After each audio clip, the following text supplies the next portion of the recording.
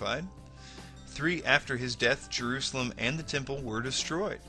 This occurred in 70 AD, after Jesus' death.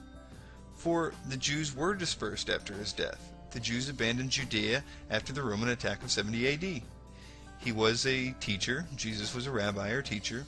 He lived on after death, and the teachings, uh, Jesus and his teachings were founded the Christian faith. Uh, he was a wise king. Jesus was mocked by the Romans as the king of the Jews.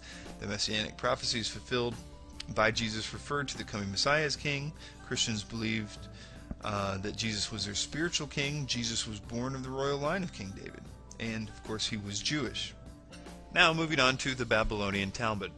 The Babylonian Talmud is an ancient record of Jewish history, laws, and rabbinic teachings compiled throughout the century. Though it does not accept the divinity of Jesus, it confirms the belief that he was hanged, an idiom for crucifixion, on the eve of the Passover. It says, On the eve of the Passover, Yeshu, some texts say Yeshu the Nazarene, was hanged, which means crucified, forty days before the execution. A herald went forth and cried, He is going forth to be stoned, because he has practiced sorcery and enticed Israel to apostasy. Any anyone who can say anything in his favor, let him come forward and plead on his behalf. But since nothing was brought forward in his favor, he was hanged on the eve of Passover. Skeptic Interjection 1. How can we know that the Talmud is documenting Jesus' existence and not only stating the rumor surrounding a myth? Answer.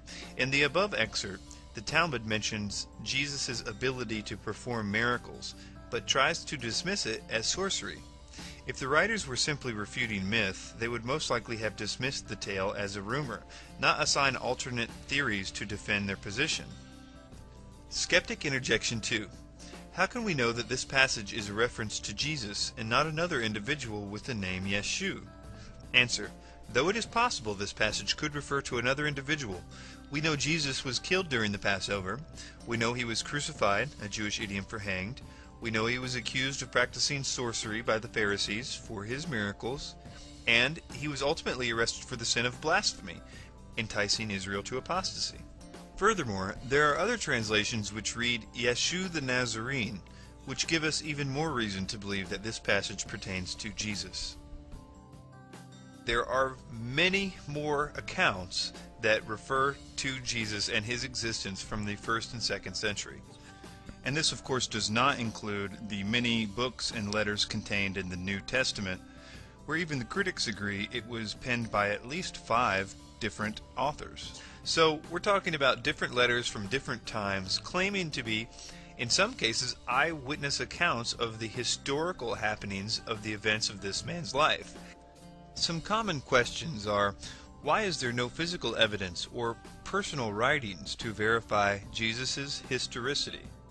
The Bible has been accused on several occasions of committing historical errors, but has later been proven accurate through archaeological finds. For instance, the Old Testament mentions a tribe of people known as the Hittites. Skeptics pointed out that there was no such civilization in history, yet in the 19th century, records of the Hittites were discovered within Assyrian ruins. Today, we know a lot about the Hittites, such as their language, craftsmanship, geography, and empire chronology. The New Testament mentions the Pool of Bethesda as a place where Jesus healed a paralytic. No such location was known to exist until it was discovered in Jerusalem as a place where the sick would gather to seek healing. Just because an artifact has not yet been recovered does not mean none exists.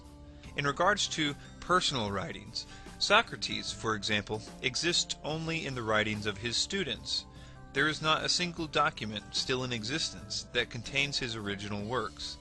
If we apply the same logic with Socrates, skeptics use to determine Jesus' historicity, we must assume Socrates was a figment of the imagination of his students. But if we are to accept Socrates as a historical figure based on four secondary accounts, we must also accept Jesus as a historical figure whose life was documented by his disciples, historians, and those who rejected his divine claims. When in conclusion, a lot of evidence has been presented during this discussion to confirm Jesus Christ as a historical figure. We have viewed accounts taken from numerous authors of different theological backgrounds and we have answered some common skeptic questions concerning Jesus' historicity. I purposely avoided using biblical evidence to support the existence of Jesus because that would be using the Bible to prove the Bible. Instead, we focused this study on extra biblical sources. However, early Christian historians and witnesses were unanimous in their accounts that several New Testament books were written by eyewitnesses of both Jesus and the apostolic ministries. If these authors were indeed eyewitnesses, we can believe that they also provide evidence to the historicity of Jesus. Some readers may be satisfied with such evidence, some may not. Whatever the case, I encourage you to examine all the facts for yourself before reaching your conclusion. Thank you.